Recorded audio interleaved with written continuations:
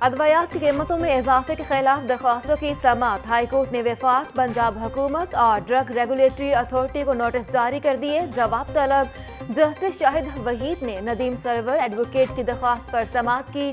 عوام کو ریلیف دینے کے بجائے حکومت نے ادویات میں پندرہ فیصد اضافہ کر دیا۔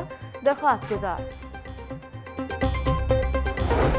سیاستدانوں اور بیوروکریٹس کی نیب کے خلاف درخواستوں کے سماعت کے لیے قائم بینچ تحلیل۔ چیف جسٹس ہائی کورٹ سردار محمد شمیم خان نے نیا بینچ تشکیل دے دیا۔ جسٹس علی باکر نجفی کی جگہ جسٹس مرزا وقاص روف بینچ میں شامل۔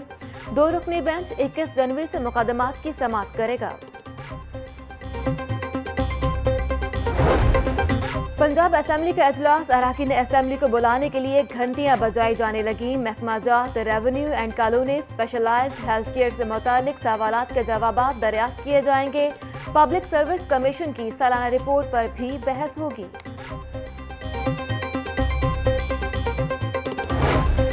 عوامی نمائندے قانون شکنی میں سب سے آگے گوشوارے جمع نہ کرانے والے معطل اراکین سرکاری پروٹوکول، گاڑیاں اور اجلاسوں کی صدارت کرنے لگے۔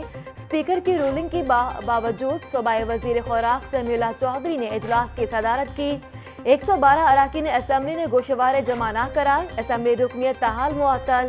پی ٹی آئی کے رکن نویس دوریشر کی جانب سے گوشوارے جمع کرانے پر رکنیت بحال۔ دست وزراء اور چھ معاون خصوصی کی رکنیت بدستور معطل ہے۔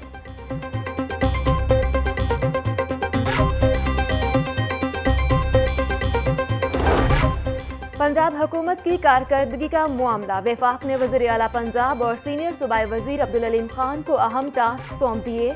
عثمان بزدار اور علیم خان میں فاصلے ختم قربتیں بڑھ گئیں۔